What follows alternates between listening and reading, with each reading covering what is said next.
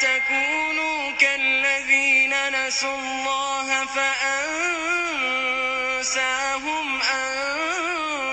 أنفسهم. السلام عليكم. كيف حالكم؟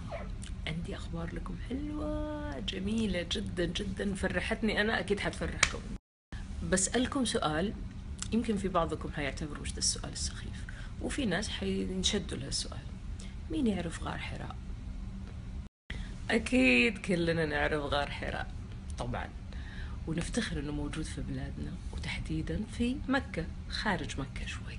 طيب حتى لما كنا في الابتدائي إحنا وجو الجيل الطيبين والأطيب من الطيبين كنا ندرس هالموضوع ونعرفه كلنا. ألف حمد وشكر. أوكي.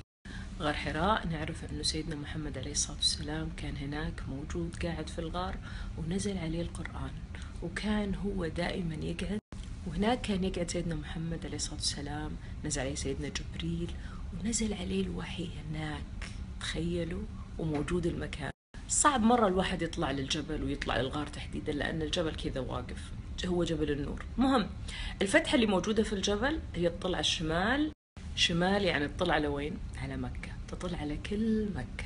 ما أجمل هالمكان.